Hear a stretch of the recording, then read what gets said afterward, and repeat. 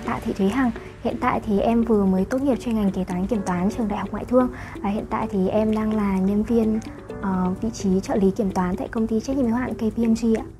Thực ra thì em đã biết đến ACCA từ khi mà em học năm nhất đại học. Tuy nhiên là em vẫn uh, lúc đấy thì mình vẫn chưa biết được cái ờ, giá trị thực sự của ACCA cho đến khi mà uh, năm ba khi mà đã tiếp xúc với những cái môn chuyên ngành và đã có thể gọi là xác định được những cái ờ, định hướng sau này của mình thì em đã quyết định là mình cần phải học thêm những cái chứng chỉ gì đó để có thể là hỗ trợ mình tốt hơn trên cái con đường sự nghiệp của mình. Và khi đấy thì em đã tìm hiểu về ACCA và biết được là ACCA là một cái chứng chỉ mà uh, không chỉ có riêng về lĩnh vực kế toán kiểm toán mà còn có cả những kiến thức thêm về à, thuế hoặc là tài chính hay là quản trị, thì em cảm thấy đây là một chứng chỉ là, mang lại cho mình rất là nhiều lợi ích. Nên là em đã quyết định là bắt đầu theo học chứng chỉ ACCA và môn đầu tiên mà em theo học thì cũng là môn F3 Kỳ thi vừa rồi thì em có tham gia thi môn F9 Financial Management, quản trị tài chính của ACCA và rất là may mắn là em đã đạt điểm cao nhất trong kỳ thi vừa rồi và là prize winner của môn F9 này. Thì đầu tiên là em cảm thấy rất là vui mừng và thứ hai là em cũng khá là bất ngờ về cái kết quả của mình bởi vì là trong thời gian mà em ôn thi thì uh, cái thời gian mà uh, thi môn này thì cũng là thời gian mà trên trường em phải uh, nộp khóa luận tốt nghiệp của mình để chuẩn bị hoàn thành cái môn học cuối cùng trên trường để chuẩn bị tốt nghiệp thì uh, trong thời gian này thì em cũng cảm thấy mình khá là bận rộn tuy nhiên là um,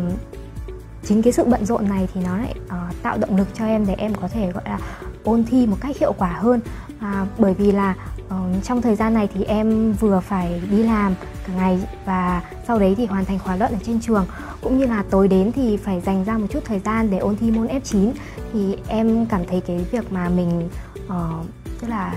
cần phải chia ra một cái thời khóa biểu và mình cần phải tuân theo cái thời khóa biểu đấy một cách nghiêm ngặt nhất có thể để có thể đạt được một cái kết quả tốt À, thực ra là môn F9 thì là môn học đầu tiên mà em theo học tại FTMS và uh, giảng viên của môn F9 thì cũng là giảng viên khiến em ấn tượng nhất từ trước đến giờ. Uh, giảng viên môn F9 của em thì là thầy Bawan, Uh, thầy uh,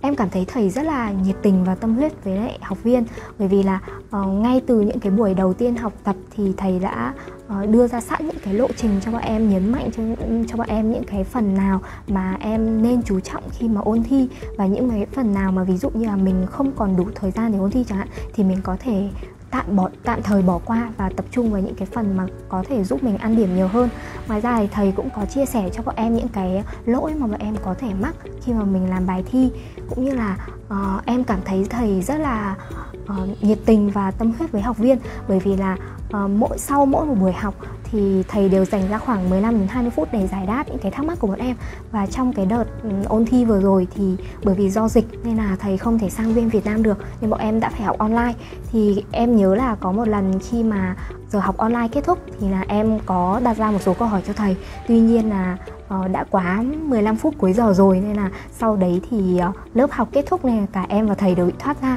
Thì ngay vào sau đấy em đã gửi cho thầy một cái email báo về những cái uh, thắc mắc của em. Và rất may là lúc đấy thì những cái thắc mắc của em thì đều được giải đáp gần như xong rồi. Nên là em uh, thực ra em cũng chỉ gửi một cái mail để thông báo cho thầy là uh, em đã hiểu được cái vấn đề rồi và nếu có vấn đề gì thắc mắc khác thì em sẽ email lại cho thầy. Và em rất là ngạc nhiên khi mà chỉ 5 đến 10 phút sau thôi là thầy đã reply lại mail của em rồi. Nên là em em em cảm thấy thầy rất là luôn sẵn sàng ở đấy để trả lời những cái thắc mắc của bọn em nên em cảm thấy rất là yên tâm trong quá trình ôn thi ấy.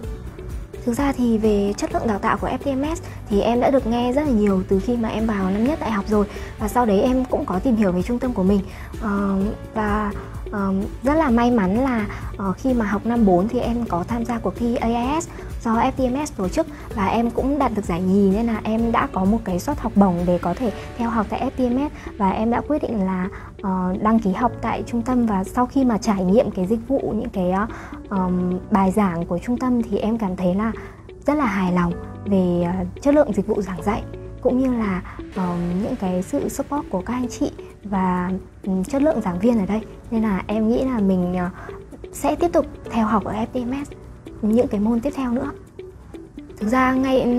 từ khi bắt đầu học ACCA cho đến bây giờ thì em cảm thấy là chưa lần nào mà mình cảm thấy là muốn từ bỏ chứng chỉ này. Thứ nhất là uh, em đã xác định được cái con đường mà mình muốn theo đuổi sau này và cũng xác định được uh, cái ngành nghề cái lĩnh vực mà mình muốn phát triển. Và em nhận thấy là ACCA là một cái chứng chỉ cần thiết cho mình sau này để hỗ trợ mình gọi là um, vươn cao hơn trong cái con đường sự nghiệp của mình. Nên là em cảm thấy là mình nhất định là phải hoàn thành được chứng chỉ ACCA này. Cái thứ hai là em cảm thấy là những cái kiến thức mà chứng chỉ ACCA mang lại cho em thì nó rất là bổ ích. Nó không chỉ có riêng kế toán kiểm toán như là ở trên trường em học mà nó còn uh, có những cái kiến thức về mảng thuế hay là về mảng quản trị hay là tài chính. Thì ngay cả những cái ờ, phần kiến thức đấy nó cũng hỗ trợ rất nhiều cho em sau cho cho cái con đường sự nghiệp sau này của mình. Kể cả ngay mà khi mà sau này em cảm thấy là mình uh, mình có thể mình không làm kế toán mình không làm kiểm toán nữa thì mình vẫn có thể gọi là từ những cái kiến thức mà học được từ ACCA thì em cũng có thể là chuyển sang những cái lĩnh vực khác tương đương ví dụ như là tài chính quản trị hay là thuế. Thì em cảm thấy cái lợi ích mà ACCA đem lại cho em rất là lớn nên là em vẫn chưa lần nào mà muốn từ bỏ chứng chỉ này cả.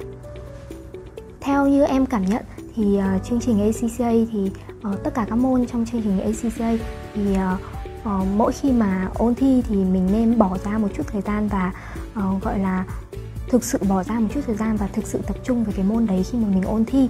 Uh, ví dụ như là khi mà em ôn, ôn thi môn F9 nhưng là em em hoàn toàn là không có nhiều thời gian để ôn thi. Tuy nhiên là um, em biết là mình không có nhiều thời gian nên là tối hôm nào thì em cũng phải dành ra 2 đến 3 tiếng để em có thể ôn tập lại một lượt những cái kiến thức mà mình đã học. Đồng thời là luyện tập thêm những cái ờ, bài tập bên ngoài cũng như là luyện tập thêm những cái past exam ở trên trang web của ACCA ờ, em thấy là trên trang web của ACCA thì có rất là nhiều tài liệu phong phú mà mình có thể um, Tìm hiểu cũng như là mình luyện tập ở trên đấy thì nó giúp mình không chỉ là làm quen với lại những cái dạng đề thi làm quen với giao diện thi mà cũng như là luyện tập cho mình những cái tư duy những cái phản xạ và làm quen với lại cái cách ra đề của người người ra đề cũng như là làm quen với những cái tips mà mình có thể uh, đạt được khi mà mình mình làm bài thi để mình có thể lấy được điểm dễ dàng hơn.